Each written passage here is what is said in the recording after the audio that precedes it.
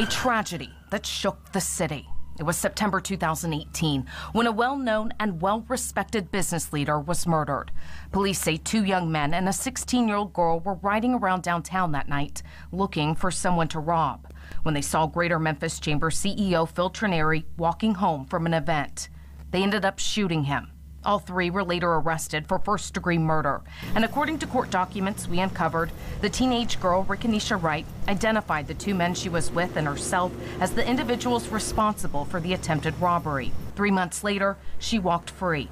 Juvenile court staff says they weren't at liberty to discuss what happened. They told us to contact family. We're Channel 3. So we did. We went to the address listed on court records. A woman answered the door and told us she's Wright's mother. She says after a closed door meeting in December 2018, her daughter was allowed to go home but had to wear an ankle monitor for six months. Since then, she told us Wright has been doing well until May of this year. Police linked Wright to this shooting in South Memphis. Court documents state Wright got into a fight with a guy over money. It turned physical.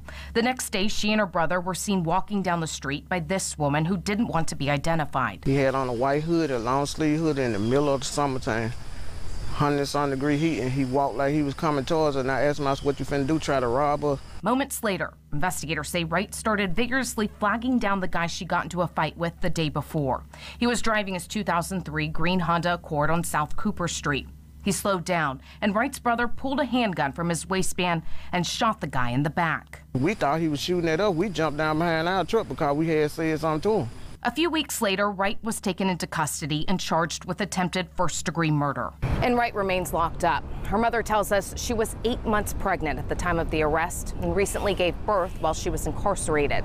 She also told us her brother, who is 15 years old, was also arrested just days after he was injured in a separate shooting. As for the Trenary case, the chamber told us today, out of respect for the family and the judicial process, it would be inappropriate for us to comment on the case at this time.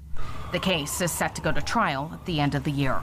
Jessica Gartler, WREG News Channel 3. Now, Wright's cousin is one of the men facing trial for Trenary's murder. His family claims that he has a low IQ, but the state ruled that he is competent to stand trial. We'll keep you updated on those cases.